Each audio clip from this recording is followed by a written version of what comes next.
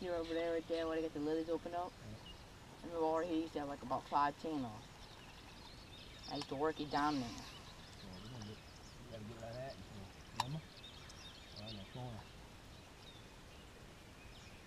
One bad thing about throwing it that way through those things is like when, when you start passing the tree, you gotta have them reel up.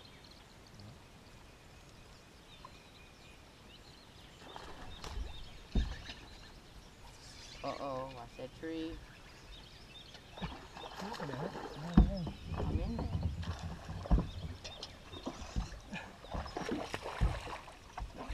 Those some hammers.